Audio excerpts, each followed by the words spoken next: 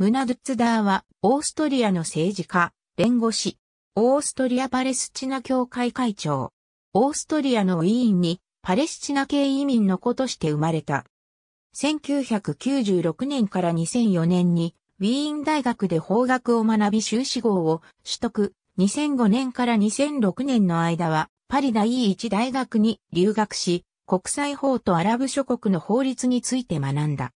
2007年から法律家としての活動を始め、2012年からは、自らの事務所をウィーン市内のハックで開業している。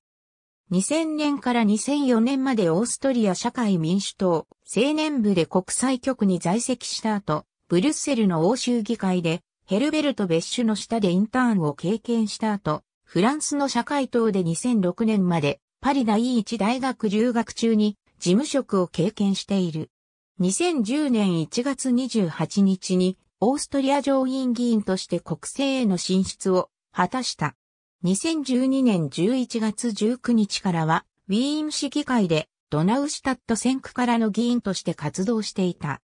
2016年5月17日、ケルン首相の就任とともに、首相府の官房及び公務担当補佐官として任命された。父は国際連合工業開発機関の職員で、母は専業主婦。5人の兄弟がいる。イスラム文化を背景として育ち、家庭内ではアラビア語を話してはいたが、敬虔なムスリムではないとしている。ありがとうございます。